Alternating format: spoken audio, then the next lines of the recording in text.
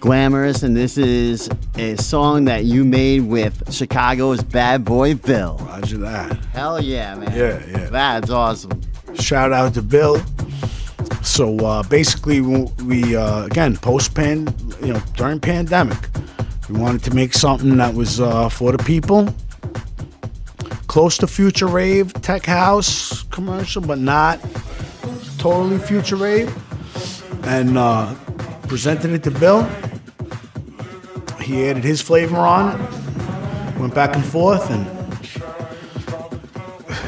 It's great. it worked out, man. It worked out. It's gonna be, it's gonna be released coming up. This is all unreleased, uh, unreleased stuff, but it's uh, glamorous. Yeah, So you were doing during the pandemic. You were doing your Dank and Friends streams. Yeah, yeah. And bad like Bad Bill was a Bad Boy Bill was a part of it. I saw you, you had some names on there. You had your boys coming through. Yeah. That was dope.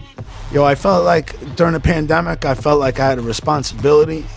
Somewhere I got that my head on my ass, and and I and I felt like I got I had a responsibility, Yeah.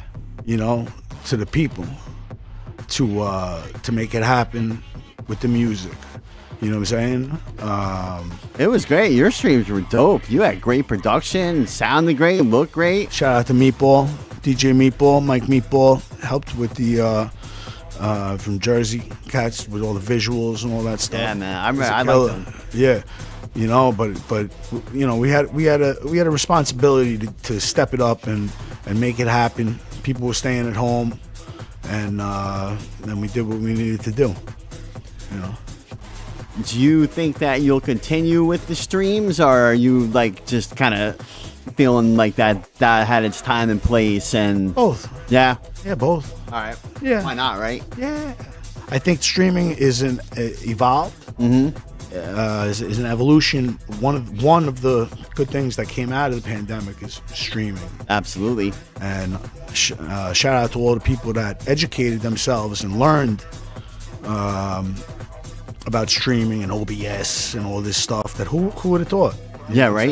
Like who who would have knew that stuff? You know, nowadays you got to be a DJ, promoter, social media mogul, all of this other stuff.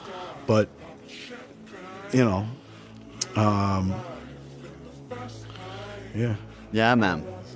No, it's definitely it opened up it opened up so many opportunities for people and just I you know I started throwing like Zoom parties at the beginning of it Yeah. just to bring people together and see people, you know? Do something. Yeah. Lockdown. Yeah, right?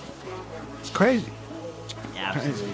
But I do think we're coming out on the other side of it. I do I'm hopeful that Yes, I'm hopeful that we are. we are.